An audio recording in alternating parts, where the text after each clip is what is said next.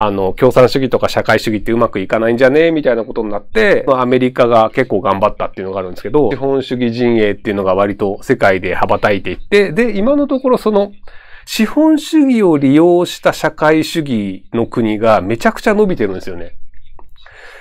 民主主義って、その投票して一番偉い人決めますよってやつで、アメリカだったら大統領とかを投票で決められますよと。日本だったらじゃあその政治家も投票で決められますよと。で、それがその民主主義だったりするんですけど、で、中国とか実質的に投票で決めることはできないんですよね。で、ロシアも、なんかその反与党でやっていた、そのなんかジャーナリストがドイツで、あの、なんか、毒かなんかを撃たれて、なんか緊急入院したりみたいな。っていう感じで政府に対して、その対抗しようとすると、なぜか、あの、不具合が発生するっていうのがあって、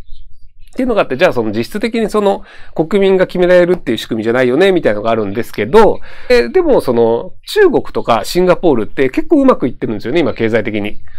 で、なんでうまくいってるかっていうと、こうやった方がいいよねって決めてまあ、賢い人たちが決めて、で、それをその通りできるんですよね。ところが民主主義の場合って、大衆が理解できないと、それが実現しないっていうのがあるんですよね。AI を導入した方がコストが安くなっていいよね、みたいなのがじゃあ決まりましたと。で、じゃあその他のシンガポールとか、じゃあガンガン AI 突っ込むぜとか、中国とかもガンガン AI やるぜってなっても、日本の場合って AI ってよくわからないから怖いから嫌だとか、キャッシュレスとかやろうとしても、なんかあの、その、お札が目に見えなくなって、なんかその携帯の中にお金が入ってるとか理解できないから怖いとか、大衆が理解しないっていうことで、結局そのシステムやその社会の仕組みっていうのが変えられなかったりするんですよね。シンガポールとか中国の場合は、あの、お前ら別に理解する必要ないよ。使えなくなるだけだから。文句があるなら言っててね。でも別に政府はその文句に対して対応しませんよ。なんですけど、日本の場合って割とその文句を言う人たちに対応しなきゃいけないので、じゃあ今でもその反抗さなきゃいけませんだったりとか、なんかその支払いは現金でとか、なぜかその飲酒という謎の切手のようなものを買ってきて、